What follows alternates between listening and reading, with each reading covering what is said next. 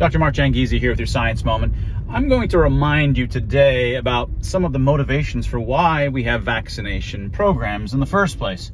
Now, one of the obvious advantages to being vaccinated is that you yourself are protected. You have a much lower chance of having a serious uh, illness by virtue of having COVID or whatever the disease is. But the other reason we have vaccination campaigns is so that by virtue of there being many people that are vaccinated, community spread is thereby suppressed. What that means is that even if you're not vaccinated, perhaps you just don't want to, or you didn't get around to it, or perhaps you're, you're immunocompromised and you couldn't or shouldn't get um, uh, vaccinated, everybody in the community ends up with a higher level of herd immunity by virtue of the fact that many, a, a sufficiently large percentage, are vaccinated. But the individuals who are vaccinated, of course, are still much better off.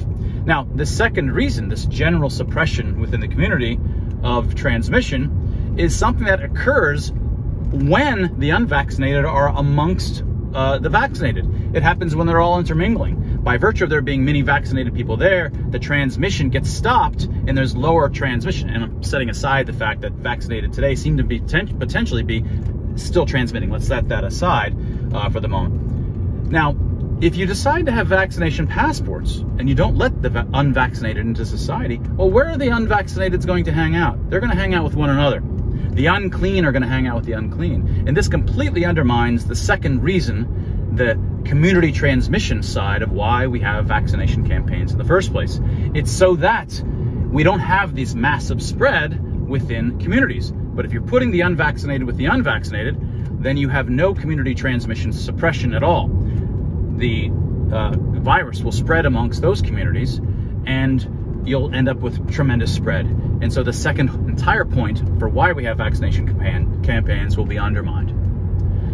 The reason that people want to have the unvaccinated out of society is not because it's wise policy, it's because the unvaccinated haven't done the thing that they're supposed to do as good people. They're now viewed, by virtue of not showing that they're in line with the good, they don't deserve to be part of society. Those are the kinds of psychological motivations which are pushing people to want them not even in society at all. And these dangerous, these are very dangerous when you're looking at one group of people as an unclean kind of people, not deserving to be in society.